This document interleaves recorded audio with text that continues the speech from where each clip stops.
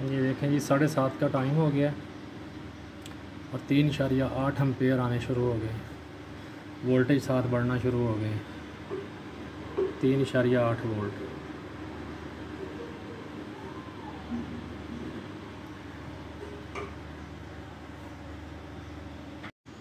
अभी आठ बज गए हैं और आठ शरिया सात अम्पेयर सोलर से आ रहे हैं, जबकि मौसम भी बादलों वाला है।